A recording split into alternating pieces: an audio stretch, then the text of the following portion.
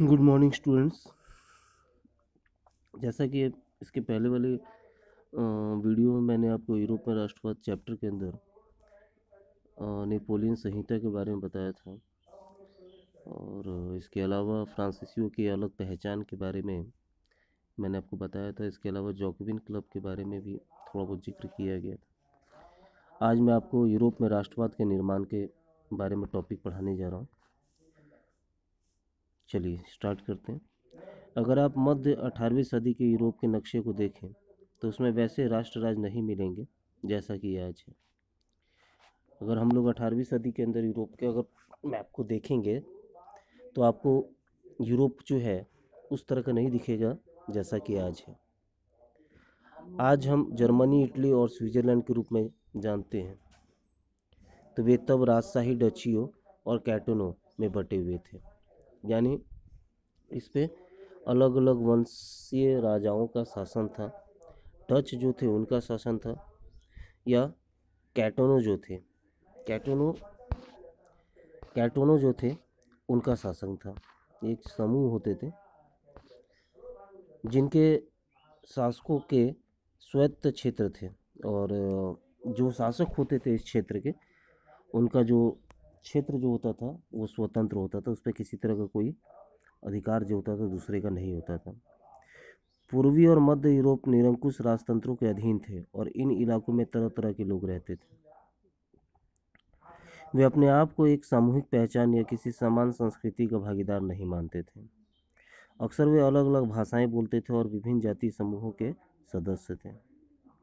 Europe के अंदर, Europe का जो पूर्वी जो भाग जो था या अगर हम कह सकते हैं मध्य यूरोप जो था, वो निरंकुश राजतंत्र के अधीन थे और इन इलाकों पे तरह तरह के लोग रहते थे। यानी यूरोप के पूर्वी और मध्य जो भाग होते थे, उस पर निरंकुश राजतंत्र, यानी बिना किसी के अंकुश के रहने वाले राजा जो होते थे, उनका शासन था और उस क्षेत्र में रहने वाले लोग लोग जो थे, वो अलग अलग भाषा का इस्तेमाल करते थे।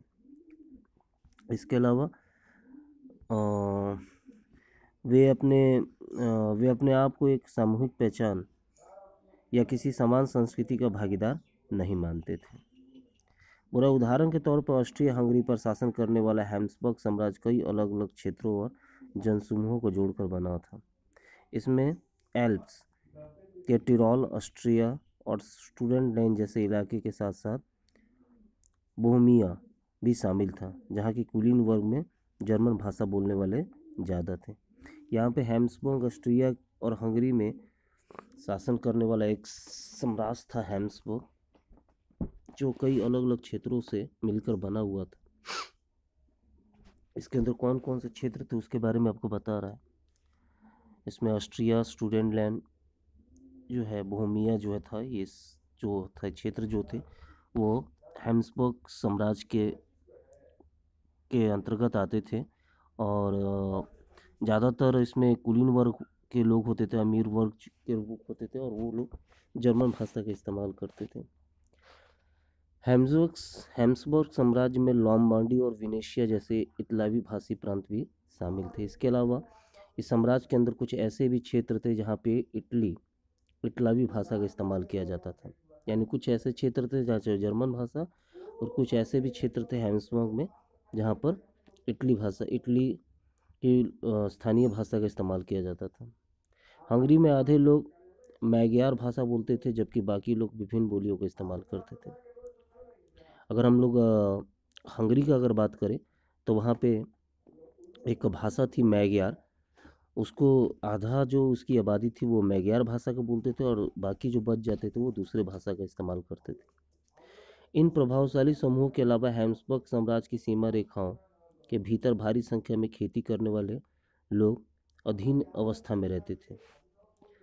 और इसके अलावा ये जो जितने भी प्रभावशाली समूह थे, जो कि हैम्सबर्ग साम्राज्य पे के अंतर्गत आते थे, इसके अलावा कुछ और भी ऐसे लोग थे जो गरीब थे, जिनके पास उनकी खुद की ज़मीन नहीं थी। जैसे उत्तर में बोहमियन और स्लोवाक कार्नोवला कार्निवोला में स्लोवेंस दक्षिण में क्रोएट तथा पूर्व की तरफ़ ट्रॉस्लोवेनिया में रहने वाले रामन लोग। तो इसमें बता रहा है आपका, स्लोवाक, ध्यान रखिएगा स्लोवेंस क्रोएट और ट्रॉस्वेनिया ये कुछ ऐसे समूह थे जो काफ़ी गरीब थे, जो कि हेम्सबर्ग साम्राज्य के अंदर रहते थे। बोरा कि ऐसा फ़र्क राजनीतिक एकता को आसानी से बढ़ावा देने वाला नहीं था। जिस तरह से हेम्सबर्ग साम्राज्य के अंदर इतना ज़्यादा सामूहिक फ़र्क जो नज़र आ रहा है उससे हम देख सकते हैं कि वहाँ पर राजनीतिक एकता जो थी वो नहीं बन पाती। बोल रहा है कि इन तरह तरह के समूह का आपस में बांधने वाला तत्व केवल सम्राट के प्रति सबकी निष्ठा थी। अगर इन सभी इतने सारे समूहों को अगर कोई बाँध सकता था तो वो था अपने राजा के ऊपर विश्वास। उसी को लेकर ये सारे लोग जो थे वो एक दूसरे के साथ जुड़े हुए थे। राष्ट्रवाद और राष्ट्र राज का विचार कैसे उभरा? यहाँ पे हेम्सबर्ग साम्राज्य के बारे में आपको बता रहा है, ठीक है? जिसमें आपका ऑस्ट्रिया, हंगरी, इसके अलावा आप कुछ क्षेत्र ऐसे थे जिसपे राजशाहियों का, डचियों का और कैटूनों के रूप में ये अलग अलग क्षेत्र में बटे हुए थे। हेम्सबर्ग साम्राज्य के बारे में इसमें बताया गया है, जिसमें अलग अलग समूह के लोग जो होते थे, रहते थे। और इसके अलावा कुछ ऐसे भी लोग जो होते थे, जो कि इनके पास कोई ज़मीन नहीं होती थी, वो गरीब होते थे। उसमें खास कर भूमिया जो थे, वो शामिल थे। उसके अलावा आपका उसके अलावा आपका कार्नोला हो गया कार्निवोला में स्लोवेनस हो गया, स्लोवाक हो गया क्रोट हो गया। ये सारे लोग जिसको थोड़ा अंडरलाइन कर लीजिएगा आप लोग। ये सारे लोग रहते थे। चलिए कुलीन वर्ग और नया मध्य वर्ग सामाजिक और राजनीतिक रूप से ज़मीन का मालिक कुलीन वर्ग, यूरोपीय महाद्वीप का सबसे प्रभावशाली वर्ग था। कुलीन वर्ग, जिनका ज़मीन पर सबसे अधिकारी हो, अधिकार होता था, काफ़ी ज़्यादा समृद्ध होते थे और उनका प्रभाव भी सामाजिक और राजनीतिक दोनों पे बहुत ज़्यादा होता था। इस वर्ग के सदस्य एक साझा जीवन शैली में बंधे हुए थे, जो क्षेत्रीय विभाजनों के आर पार व्यापक थी। इस वर्ग के अंदर, यानी कुलीन वर्ग के अंदर जितने भी सदस्य जो होते थे, उनकी जीवन जीवन शैली जो थी, जीवन जीने की जो शैली जो थी, वो क्षेत्रीय विभाजनों से अलग थी। बोल रहा है कि वे ग्रामीण इलाकों में जायदाद और शहरी हवेलियों के मालिक थे। राजनीतिक कार्यों के लिए तथा उच्च वर्गों के बीच वे फ्रेंच भाषा का प्रयोग करते थे। उनके परिवार अक्सर वैवाहिक बंधनों में आपस में जुड़े होते थे।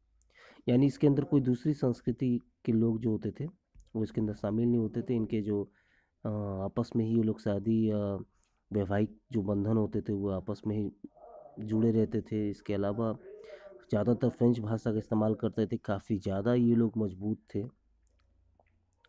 जनसंख्या के अधिकांश लोग कृषक थे। पश्चिम में ज़्यादातर ज़मीन पर किराएदार और छोटे कस्तकार खेती करते थे, जबकि पूर्वी और मध्य यूरोप में भूमि विशाल जागीरों में बटी थी जिस पर भूदास्य खेती करते थे। इसके अलावा, इनके अलावा, ज़्यादातर यूरोप में ऐसी संख्या थी जो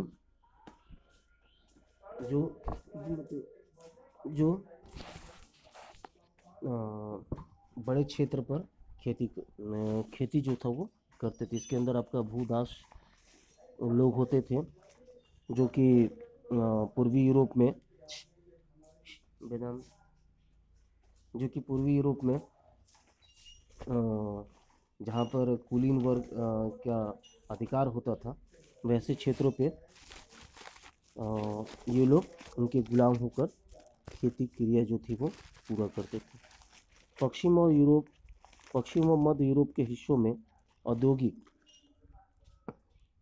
औद्योगिक उत्पादन और व्यापार में वृद्धि से शहरों का विकास और वाणिज्यिक वर्गों का उदय हुआ।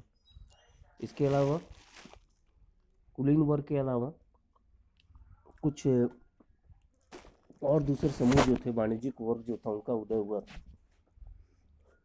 जो कि औद्योगिक उत्पादन और व्यापार में शामिल थे।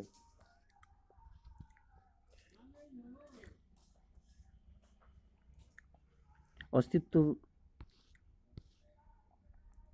जिनका अस्तित्व बाज़ार के लिए बाज़ार के लिए उत्पादन पर टिका हुआ था।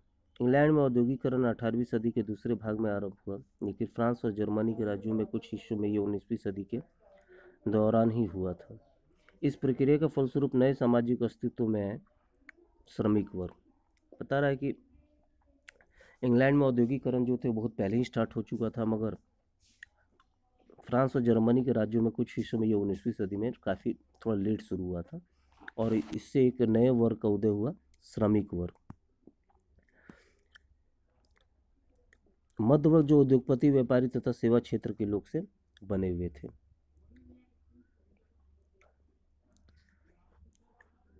बोल रहा है कि इस प्रक्रिया के फलस्वरूप एक नए सामाजिक अस्तित्व में आए श्रमिक वर्ग के लोग और मध्य वर्ग जो उद्योगपति, व्यापारी और सेवा क्षेत्र के लोगों से बने हुए थे।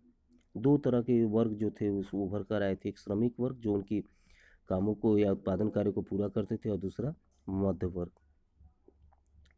बुरा कुलीन विशेष अधिकारों की समाप्ति के बाद शिक्षित और उदारवादी मध्य वर्गों के बीच ही राष्ट्रीय एकता के विचार लोकप्रिय हुए।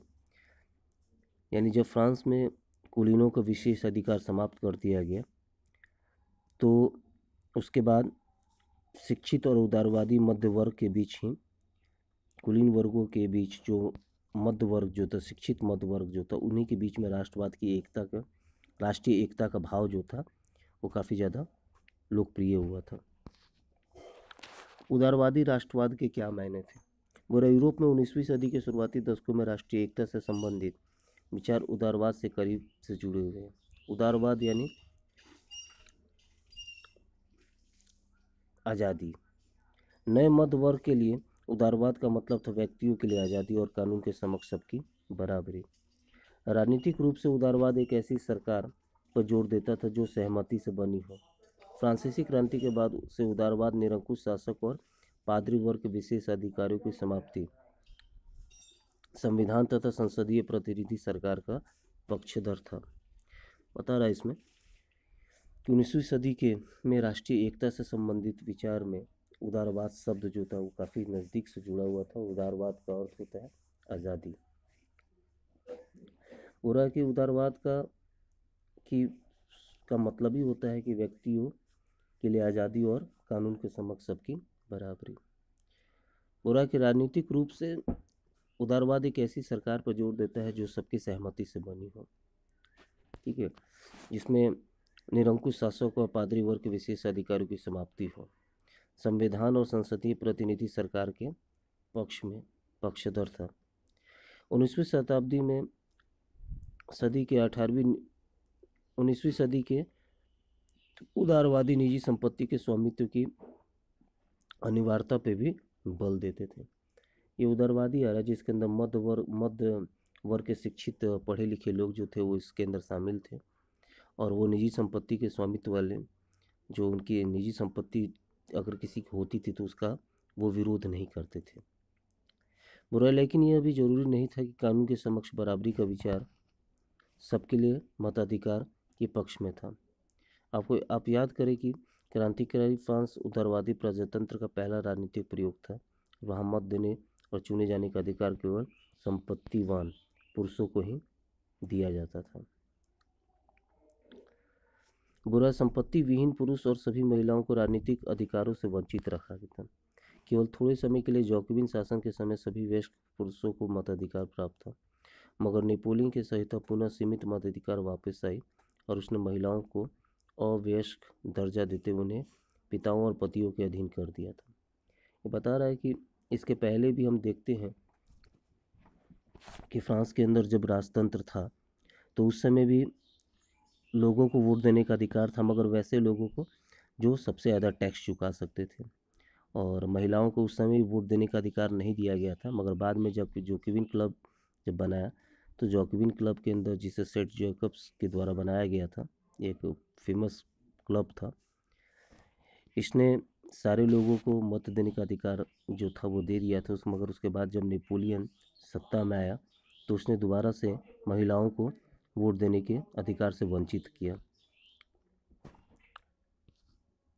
पूरा आर्थिक क्षेत्र में उदारवाद, बाजारों की मुक्ति और चीज़ों तथा पूंजी के आवागमन पर राज्य द्वारा लगाए गए नियंत्रणों को ख़त्म करने के पक्ष में था। यहाँ पर उदारवादी के बारे में बता रहा है आपका।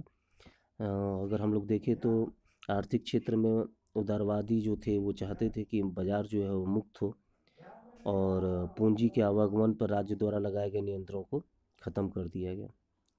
उन्नीसवीं सदी के दौरान उभरते हुए मध्य वर्ग की यह जोरदार मांग थी। आइए उसे हम लोग थोड़ा देखें। बोला कि हम उन्नीसवीं सदी के पहले भाग में जर्मन भाषी इलाकों का उदाहरण लें। किस तरह से मध्य वर्ग जो था, उनकी सबसे बड़ी मांग क्या थी, जिसके अंदर बाज़ार को पूरी तरह से मुक्त रखा जाए और पूंजी और वस्तुओं का आदान प्रदान जो है वो राज्य के टैक्स से मुक्त हो। बोल रहा है कि नेपोलियन के प्रशासनिक कदमों में अनगिनत छोटे प्रदेशों से उनचालीस राज्यों का एक महासंघ बना। इनमें से प्रत्येक को अपनी मुद्रा और नाप तौल प्रणाली थी। 1833 में हैम्सबर्ग, हैम्बर्ग से न्यूरमबर्ग जाकर अपना माल बेचने वाले एक व्यापारी को 11 सीमा शुल्क नाकों से गुजरना पड़ता था। ये बता रहा है आपका, हैम्बर्ग और न्यूरमबर्ग के बीच में जितने भी व्यापारिक संघ से जुड़े लोग होते थे, उनको लगभग कितने नाकों से गुजरना पड़ रहा है इसमें?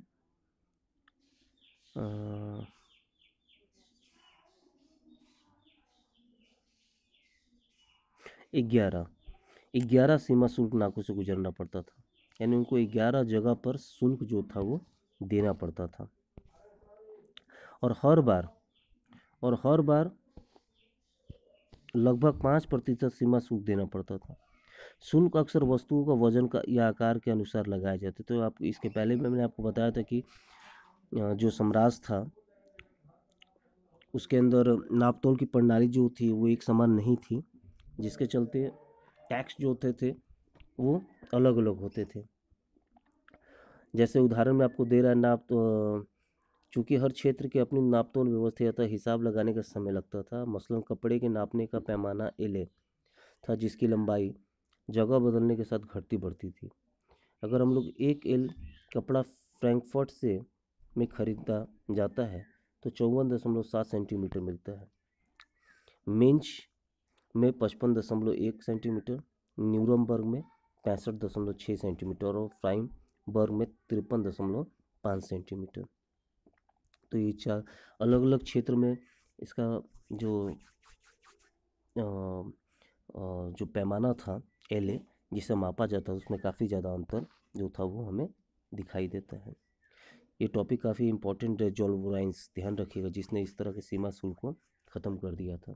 ये नेपोलियन संहिता के द्वारा ही लागू किया गया था जिसमें उनचालीस राज्यों को मिलाकर एक महासंघ जो था वो बनाया गया था। बोल है कि नए वाणिज्यिक वर्ग ऐसी परिस्थितियों को आर्थिक विनिमय और विकास में बाधक मानते हुए एक ऐसे एकीकृत आर्थिक क्षेत्र के निर्माण के पक्ष में तर्क दे रहा था जहाँ वस्तु, लोग और पूंजी का आवागमन बाधा रहित हो। 1834 में प्रासा की पहल पर एक शुल्क संघ जोलवोराइंस प्रासा प्रासा की पहल पर एक संघ जो था उसका निर्माण किया गया, जिसका नाम जॉलवराइन रखा है, जॉलवराइन था, जिसमें अधिकांश जर्मन राज्य शामिल थे। इस संघ ने शुल्क अवरोधों को समाप्त कर दिया और और मुद्राओं की संख्या दो कर दी, जो इससे पहले तीस से ऊपर थी। इसके अलावा रेलवे के जाल ने गतिशीलता बढ़ाई और आर्थिक हितों और राष्ट्रीय एकीकरण का सहायक बनाया।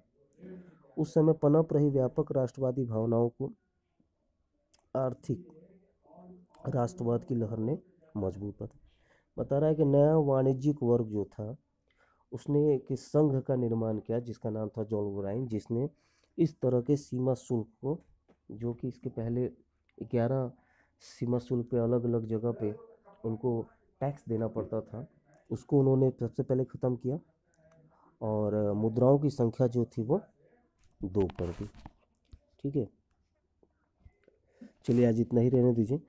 अगले दिन पढ़ा जाएगा 1815 के बाद एक नई रूढ़ीवाद।